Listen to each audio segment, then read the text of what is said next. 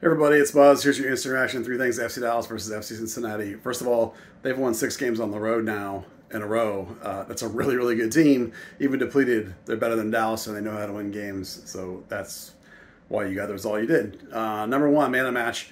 I was kind of conflicted. I had a couple of different guys, and in the end, I'm going to go with Logan Farrington. And the reason I am is because Cincinnati thought he was Dallas's best player. He was fouled six times. That's twice as much as anybody else on FC Dallas. So that tells you the other team thought he was the danger guy, and I actually thought he was pretty good anyway.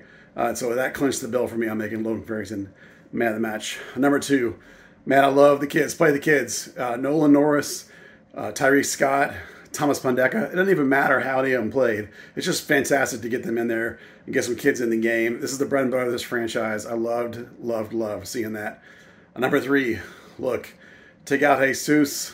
Don't start Musa, and you don't get normal FC Dallas. They had 15 shots and they had more possession than Cincinnati. That all sounds great, right? But 15, 16 shots and only two of them on goal. They weren't as patient as usual. They didn't take it in and get a better shot, and they weren't clinical in terms of on target to shot ratio. 15 to 2 is not a good ratio. That's not the normal FC Dallas way. So, yes, younger guys were playing, but those guys need to learn how to get better, cleaner opportunities.